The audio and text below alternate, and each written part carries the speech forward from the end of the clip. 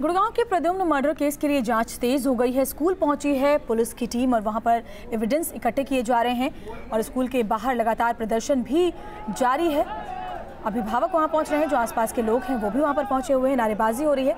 खिड़कियों के शीशे भी तोड़े गए हैं। इस बीच शिक्षा मंत्री रामविलास शर्मा भी स्कूल पहुँचे हैं और लोगों को समझा समझा रहे हैं कि दोषियों पर कार्रवाई ज़रूर होगी और जल्द से जल्द होगी।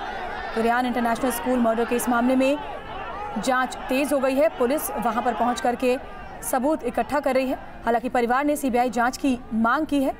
शिक्षा मंत्री भी इस बीच स्कूल पहुँचे हैं।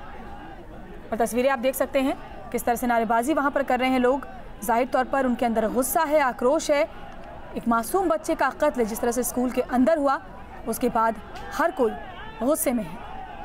परिवार ने सीबीआई जाँच की मांग की है, क्योंकि परिवार को ऐसा लग रहा है कि जो कंडक्टर है, उसे जानबूझकर फंसाया गया है और कुछ ऐसा ही कहना है कंडक्टर के घर वालों का भी कि उनके, उसकी बहन का ये कहना था कि उनके भाई को पुलिस ने दबाव डालकर जबरन बयान दिलवाया है, जबकि उसकी कोई गलती नहीं है। दरअसल ये पूरा मामला स्कूल से जुड़ा हुआ है, लेकिन बेगुनाह कंडक्टर को फंसाया जा रहा है। ये कहना है कंडक्टर के परिवार वालों का, लेकिन पुलिस यही कह रही है अभी तक कि आरोपी कंडक्टर ही है।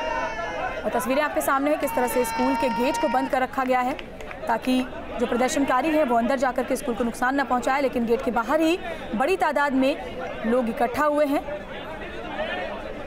प्रद्युम्न के कत्ल के बाद लगातार लोगों का गुस्सा भड़क रहा है। ज़ाहिर तौर पर स्कूल के अंदर जिस तरह से इस बच्चे का मर्डर हुआ है, उसके बाद लोग आक्रोशित हैं और न्याय की मांग कर रहे हैं। गुड़गांव का ये रियान इंटरनेशनल स्कूल है जहाँ पर शुक्रवार की सुबह एक बच्चे का कत्ल हो गया था। स्कूल के वॉशरूम के अंदर गला काटकर उसकी बेरहमी से हत्या कर दी गई थी और जिसके बाद इस स्कूल के बस के कंडक्टर को गिरफ़्तार किया गया था। ये कहते हुए कि इस कंडक्टर ने ही बच्चे की हत्या की है। हालाँकि जो परिवार है, वो सीबीआई जाँच की मांग कर रहा है और साथ ही जो वहाँ के लोग हैं, वो भी लगातार प्रदर्शन कर रहे हैं और स्कूल पर कार्रवाई की मांग कर रहे हैं।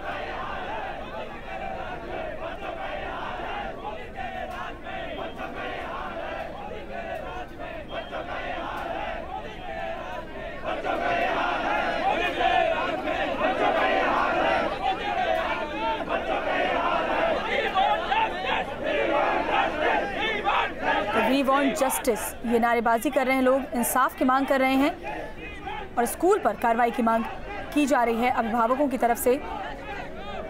जो पूरा इलाका है, वहाँ जो बच्चे का घर है, वो तकरीबन डेढ़ किलोमीटर की दूरी पर ही है इस स्कूल से। और यही वजह है कि जो बच्चे के पड़ोसी हैं, वो भी स्कूल पहुँचे हुए हैं, लगातार पहुँच रहे हैं परसों से ही। आसपास के लोग, इसके अलावा जिन अभिभावकों के बच्चे इस स्कूल में पढ़ते हैं, वो भी प्रदर्शन कर रहे हैं। और कार्रवाई की मांग कर रहे हैं। फ़ोन लाइन पर हमारे संवाददाता संजय खन्ना मौजूद है, उनसे अपडेट लेते हैं। संजय, फ़िलहाल क्या स्थिति है? वहाँ पर शिक्षा मंत्री भी पहुँचे हैं।